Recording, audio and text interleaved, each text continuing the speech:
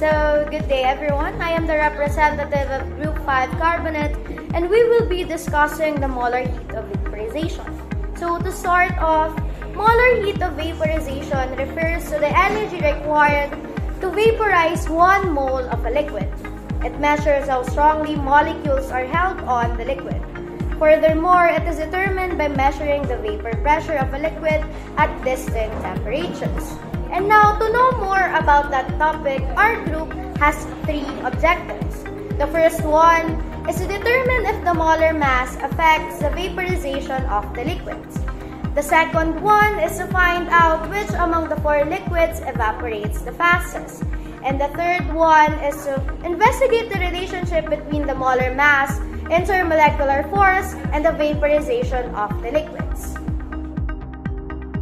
for the materials that will be used in the experiment, we have thermometer, beaker, hot plate, foil, timer, mask, lab gown, and of course the four liquids that will be used in the experiment, which is alcohol, water, acetone, and hydrogen peroxide.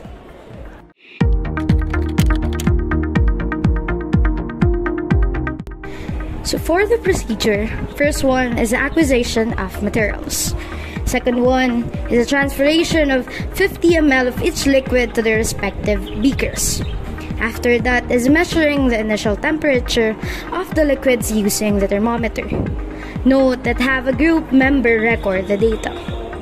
To prepare the hot plate to be used, cover the top with aluminum foil and secure it. Turn the hot plate to medium heat. Place one beaker on top of the foil. So, based on the experiment of our group, initially the plan was to place a beaker one at a time. But due to the limited time allotted for the experiment, the group decided to place three beakers on the hot plate simultaneously. Next one is to position a thermometer on each of the beakers with a group member holding it down. Remember that the thermometer should not be touching the base. Next is to have a group member use a stopwatch to record the time the instant the beaker was placed. The data are recorded during the time intervals 5 minutes, 8 minutes, and 10 minutes. Repeat this process with the other chemicals. Turn off and unplug the hot plate. And finally, clean the materials used as well as the area the experiment is conducted.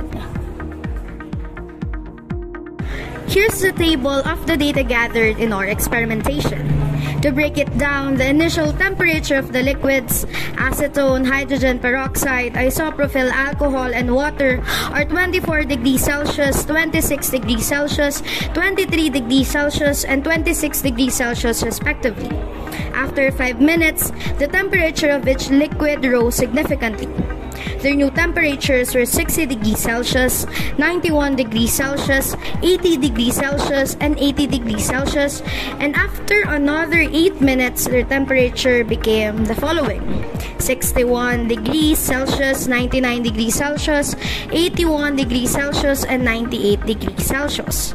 Lastly, as the timer hit the 10 minute mark, their final temperatures were the following acetone of 61 degrees Celsius, hydrogen peroxide of 98 degrees Celsius, isopropyl alcohol of 81.5 degrees Celsius, and water of 97 degrees Celsius.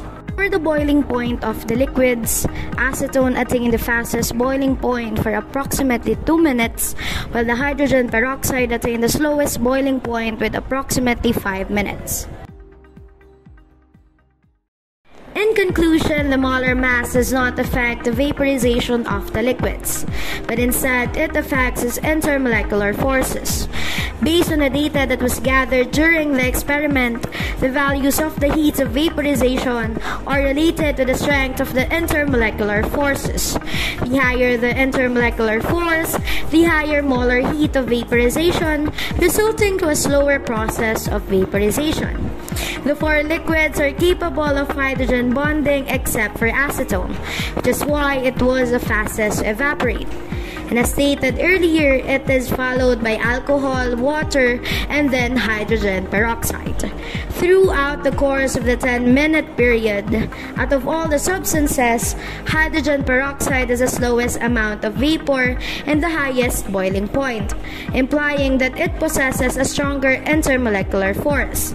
Acetone, on the other hand, has the lowest intermolecular force due to its low boiling point and large vapor content. For the other material, they are in between hydrogen peroxide and acetone. Now that you have watched our experiments, here are just some of the keynotes that our group would like to First one is that high molar mass means lower vaporization. If the molecules have very different molar masses by a factor of 2 or more, then they have very different London force strength. In this case, the one with a much higher molar mass will have the strongest intermolecular force overall. Another one is that higher boiling points means lower vapor amount and this also indicates that that has the strongest intermolecular force. And we are Group 5 Carbonate!